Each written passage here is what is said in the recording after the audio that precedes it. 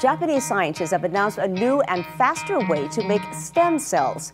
Experts say the research could open a new era in stem cell biology. The investigators at Japan's Riken Institute have completed an inquiry into some of their own science. They concluded a part of Haruko Obokata's research amounted to fabrication. They said STAP cells were easy to produce, as scientists around the world reported they could not replicate the process. In 2014, the world of science was shaken by an unprecedented fraud. The ensuing scandal resulted in a loss of millions of dollars in funding, brought an entire institute to the brink of closure, and unfortunately led to the tragic loss of a life. So what really happened to shatter the dreams of a Nobel Prize and became a dark chapter for stem cell research? This is a story of ambition, dreams, lies, and deception. This is a story of STAP cells. If anyone was to describe Haruko Obokata, they might use the words fanatical devotion, the perfect scientist, and being blessed with golden hands. From her early childhood on, Obokata wanted to become a scientist, and after graduating from high school, she attended Waseda University and received a bachelor's and master's degree in applied chemistry. During this time, she gained a reputation for working day and night, on weekdays and on the weekends. Fueled by her passion, she aimed to become a great scientist, she just needed to wait for a chance, and she already was at the perfect place in Japan. Let's set the scene. It's the early 2000s. Japan has been at the forefront of groundbreaking research for a while now.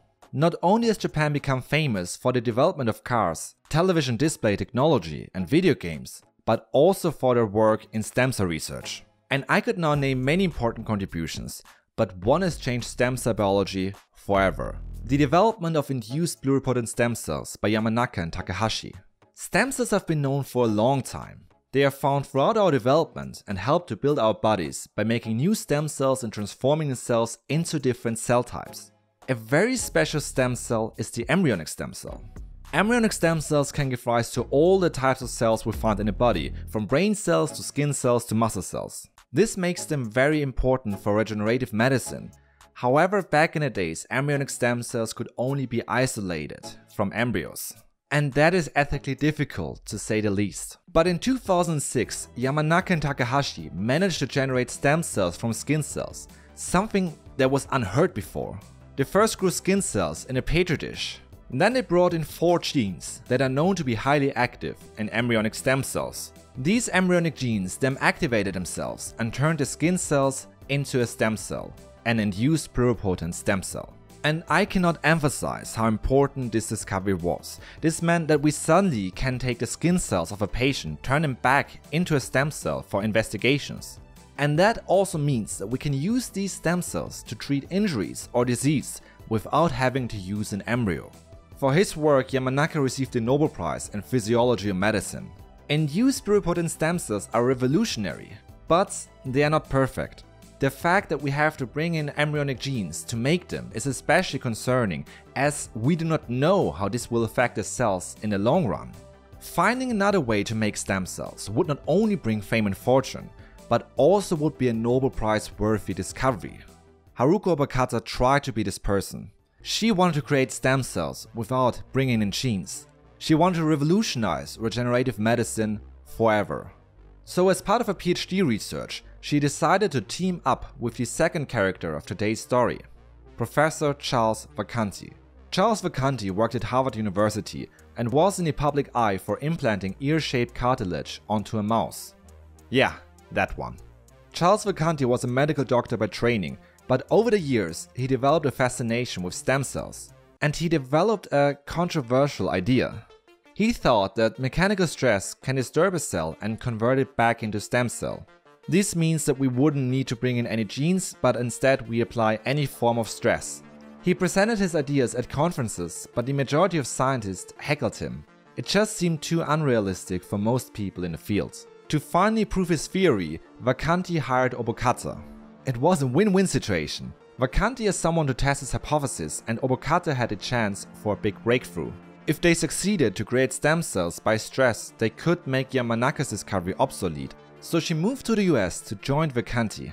She first developed an assay which will become important for the investigation later. This assay helped her to find out if her cells transformed back into stem cells. She started by cultivating normal body cells in the petri dish. These cells are normally not fluorescent. This means that they should not turn green if we look at them under the microscope. However, they have been genetically modified to turn green if stem cell genes are activated. More simple, if the cells become green, then she knows that she has made a stem cell.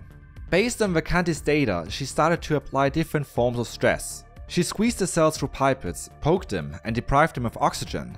This didn't really help. However, if she soaked the cells in acid, she reported that the cells turned green.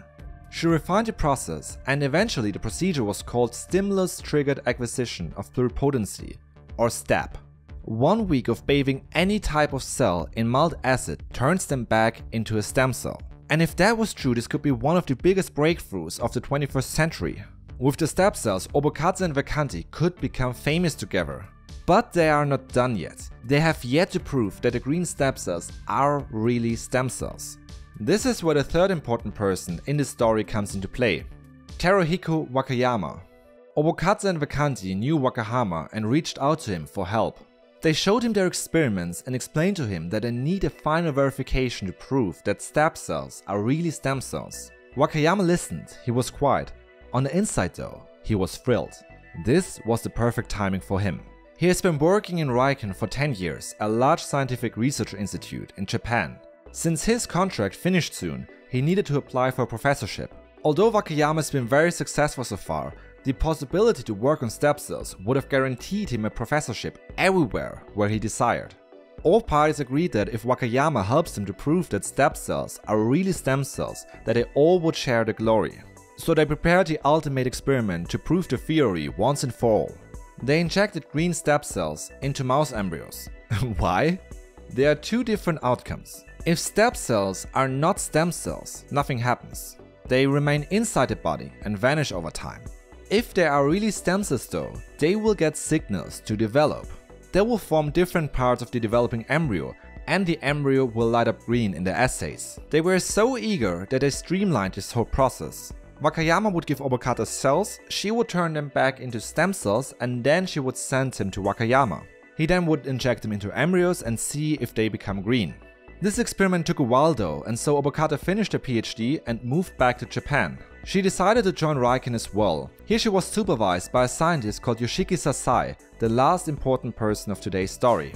He was known to be a hardworking scientist. Although he wasn't really involved in the experiments, he encouraged the research, and all four worked tirelessly until the task was finally completed. At the end of 2013, their research was finally published. And it was a bombshell. Scientists all around the world were discussing the new, unprecedented discovery.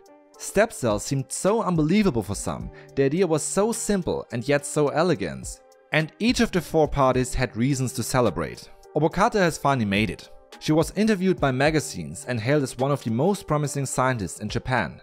The Japan Times called her a domestic and international star, and she daily received numerous phone calls from admirers of her work. Vacanti, Wakayama and Sasai were also ecstatic. Vacanti finally fulfilled his dreams of finding a new way to create stem cells. Wakayama received a professorship, though it was before the publication of STAP cells. They were all given a unique chance to rewrite science textbooks forever. Everything seemed perfect, but maybe a bit too perfect. Within a few days, questions started to arise in the scientific community. Something just seemed off. If a simple bath in acid converted a cell back into a stem cell, why isn't this happening in our bodies?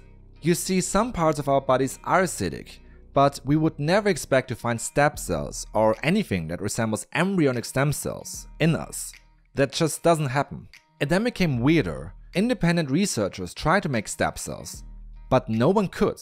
In fact, over the months, seven laboratories in the US, China, the Netherlands, and Israel all tried to recreate the astonishing results. Not once or twice, but over 130 times, with no success. And although some studies are hard to replicate, bathing cells in mild acid for a week is a rather straightforward and easy protocol, and yet no one could make STAP cells. So independent scientists took a closer look. PubPeer is a website where scientists discuss irregularities in research. Every graph and every data point can be discussed. And STAP cells soon became the most discussed thread in the forum. They all asked the same question, is the hypothesis really correct? Was there a mistake? And soon they discovered something odd. Some images in the work seem to be manipulated, especially when they looked at this image. It's just an experiment describing STAP cells, but if we enhance the image, we can see a clear cut. This means that parts of the original image were cleaved off. And that is a big big red flag that should never happen without indication. But there was more. In the original work, these images of embryos were shown. It's one of the final verifications that STAP cells are really stem cells. The embryos were similar, in fact, too similar. It turns out that the two embryos were the same embryo, photographed from different angles. At this point, the scientists were asked why they added images and displayed the same embryos multiple times. They brushed the criticism off. They said that multiple people worked on the same project and it was an honest mistake. But the scientific community was not convinced. As a response, one of the scientists in the forum, named George Daly, sent one of his students to Vacanti to learn how to make STAP cells. The student learned a technique and tried to replicate some of the original results, more precisely, he tried to see if STAP cells really turn green under the microscope, as discussed earlier. He reported that indeed the treated cells were faintly glowing in green, but they also glowed in red and yellow. It seems that there was a mistake in the discovery. The cells didn't turn green as they became stem cells, but they exhibited a phenomenon called autofluorescence. When cells start dying, they become stressed and become fluorescent in different colors under the microscope. This means that the original cells likely never turned back into stem cells, but instead were stressed as a response of the acidic treatment and they became autofluorescent. And this was the last straw. Riken, the institute where Obokata was hosted, started an internal investigation. They analyzed her data and found that parts were missing. And this is also where the whole situation became serious. They asked Obokata to replicate her results, but this time she was put under constant video surveillance. She was not allowed to wear clothes with pockets in case she smuggled something in or out of the laboratory. She had to make STAP cells day after day and hand them over to other scientists for analysis. And they found no signs of stem cells. The investigation concluded that the publication needs to be retracted due to two problems. The first being the manipulated images. Obokata confessed to the alteration, but she said that they were not such an issue for the overall story of STAP cells.